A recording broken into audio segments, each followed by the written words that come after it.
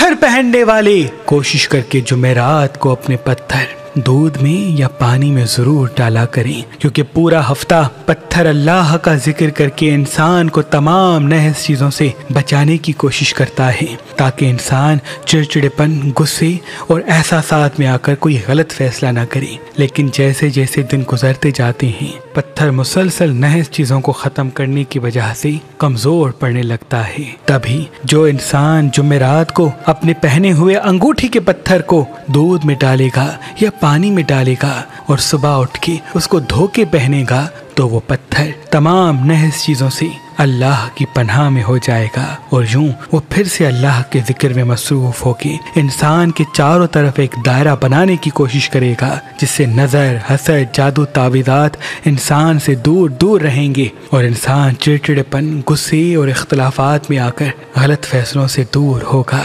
लोगो! पत्थर को पाक रखा करो साफ़ रखा करो और खसूस जब जब इबादत करो तो पत्थर पहन के इबादत करो, ताकि तुम्हारी दुआओं के साथ पत्थर भी अल्लाह की दरबार में आमीन कहे, और दो खिलकत की दुआ एक साथ अल्लाह की दरबार में फ़ौरन कबूल हो जाए।